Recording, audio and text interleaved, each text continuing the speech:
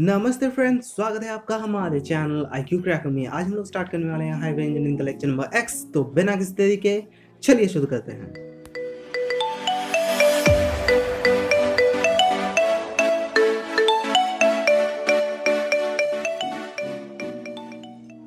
तो दोस्तों, पिछले लेक्चर में हमने ट्रैफ़िक कैरेक्टरिस्टिक्स के बारे में जान लिया था। आज हम लोग पढ़ने वाले हैं PCU traffic density and traffic capacities के बारे में।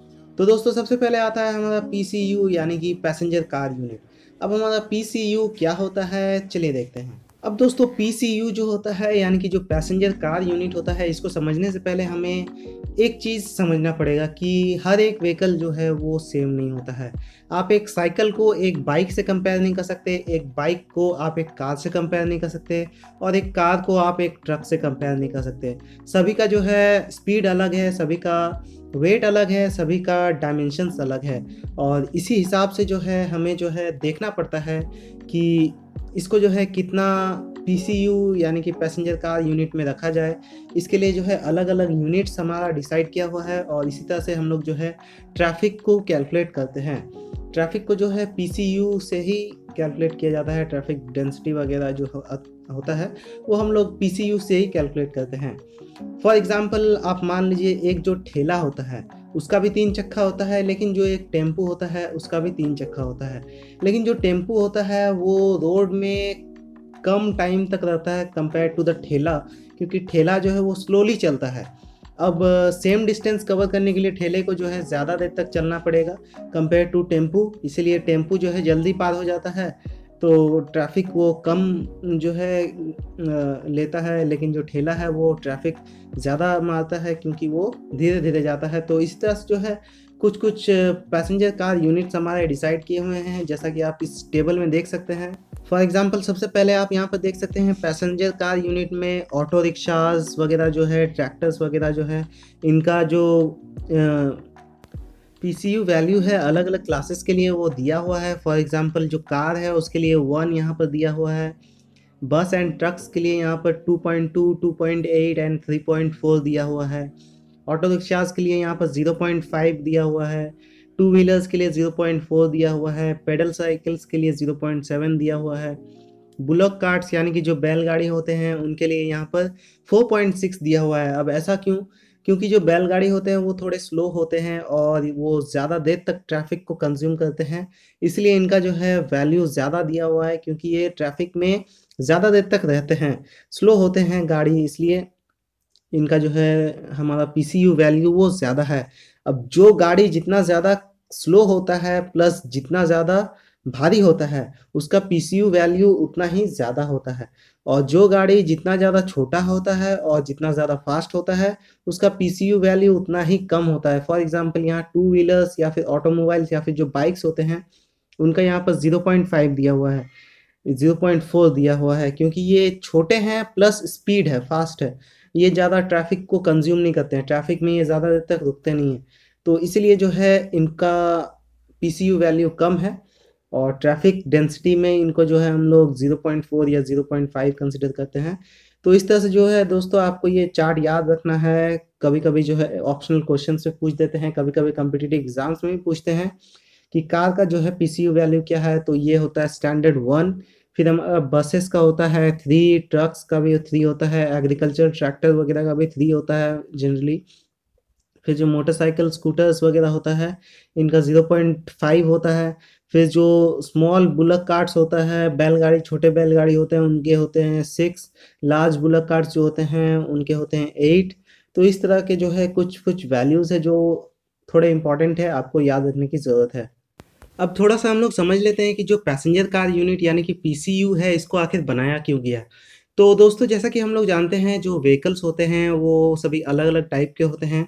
तो हम लोग जो भीड़ होता है व्हीकल्स का जो ट्रैफ़िक होता है, उसको हम लोग व्हीकल के नंबर पर तो कैलकुलेट नहीं कर सकते कि इतना इतना व्हीकल था और उससे जो है हमारा ट्रैफ़िक जाम हो गया।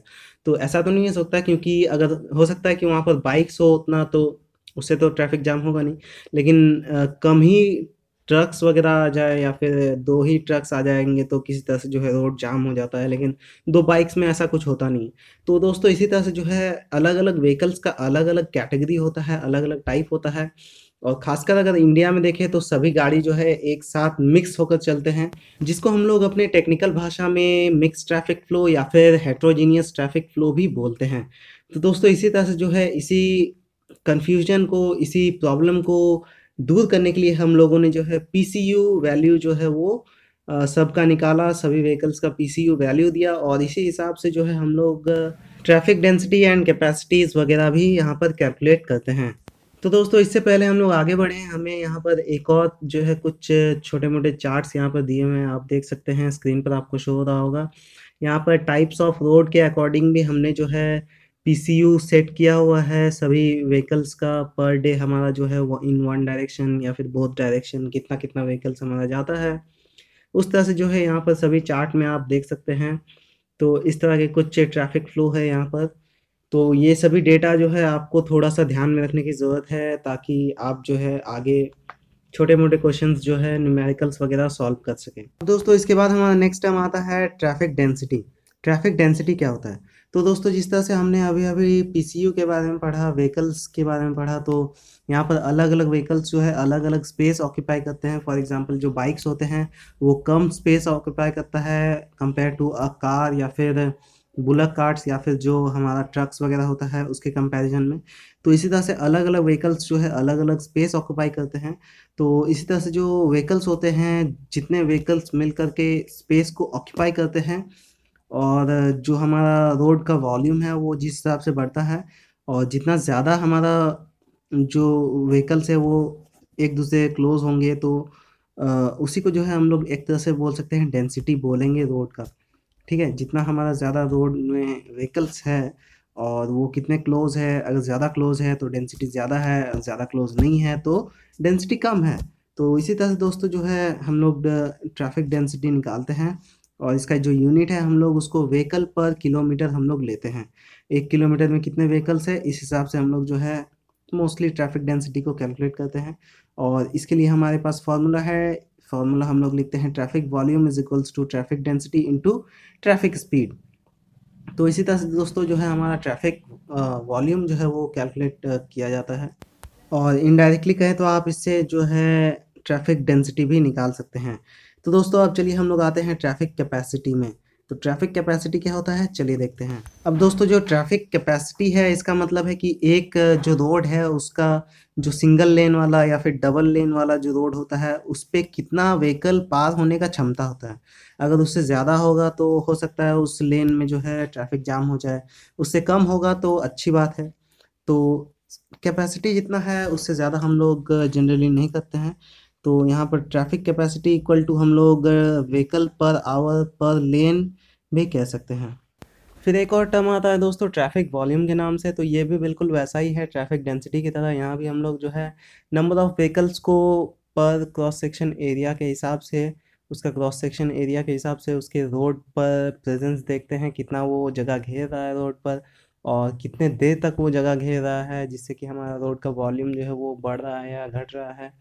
तो ये सब होता है हम लोग दोस्तों ट्रैफ़िक वॉल्यूम फिर एक और टर्म आता है दोस्तों हमारा बेसिक कैपेसिटी के नाम से तो ये होता है कि हमारा जो maximum number of passenger cars एक घंटे में या फिर पूरे दिन भर में कितना ट्रैवल हुआ है, उसको हम लोग का एक नियरली जो है रफ आइडिया जो है देने का जो होता है, उसी को हम लोग बेसिक कैपेसिटी एक तरह से कहते हैं, जिसमें हमें एक रफ आइडिया मिल जाता है कि आज जो है एक घंटे में इतने सारा पैसेंजर कार्स या फिर इतना सारा व्हीकल्स वगैरह जो है क्रॉस किया है इस लेन से तो तो इसी तरह के जब हमें कुछ बेसिक आइडियाज़ मिल जाते हैं रोड की कैपेसिटीज़ को लेके तो हम उसे बेसिक कैपेसिटीज़ का नाम दे देते हैं।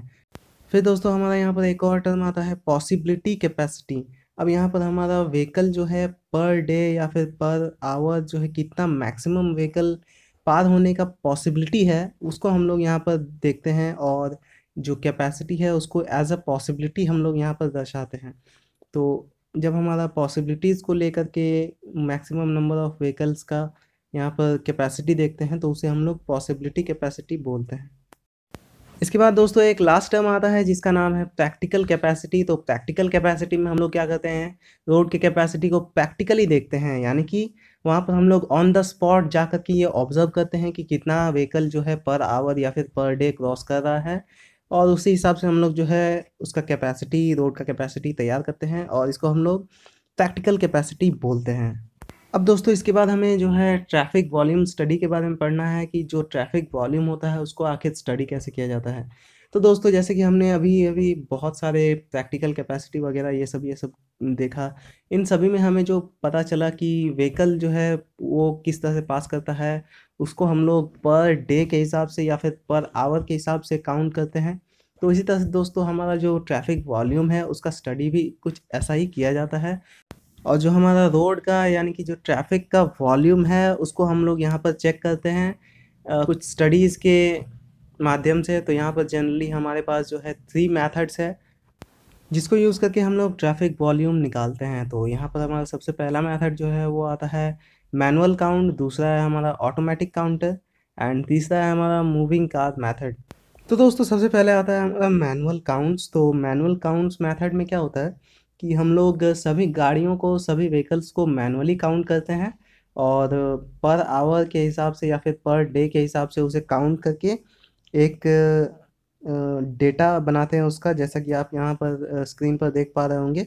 कुछ इस तरह टाइप का हमारा रॉज एंड कॉलम्स में जो है डेटा को मेंशन किया जाता है और इस तरह से हम लोग जो है इसको मैनुअली फिल करते हैं। तो दोस्तों, क्योंकि इस मेथड में सभी काम मैनुअली किया जाता है तो इसीलिए हम लोग इस मेथड को मैनुअल काउंटर बोलते हैं।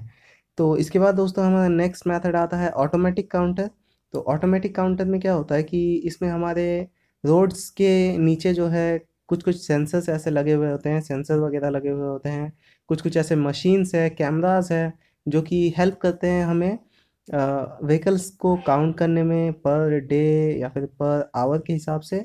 तो ये जो है, ऑटोमेटिकली हमारा मशीन्स के थ्रू हो जाता है, इसीलिए इसको हम लोग ऑटोमेटिक काउंटर का नाम देते हैं। इसके बाद दोस्तों एक लास्ट मेथड आता है, जिसका नाम है मूविंग कार मेथड। इसमें हम लोग क्या करते हैं कि सभी जो व्हीकल्स आपस में मीट करते हैं या फिर ओवरटेक करते हैं एक दूसरे को, उनको जो है एक तरह से उनका टाइम टेकन और कितना टाइम वो रोड में रह रहे हैं, इन सभी चीज़ को हम लोग ऑब्ज़र्व करते हैं और एक रिलेशन बैठाते हैं जो कि आप यहाँ पर देख सकते हैं और इस रिलेशन के through V is equals to X plus Y by T A plus T W ये एक रिलेशन है। इसके थ्रू ये इस फॉर्मूला को यूज़ करके हम लोग जो है मूविंग का मेथड से उसका जो है ट्रैफ़िक वॉल्यूम निकालते हैं। तो दोस्तों, यही था हमारा P C U traffic density and traffic capacity I hope आपको सभी टर्म्स अच्छे से समझ में आ गए होंगे।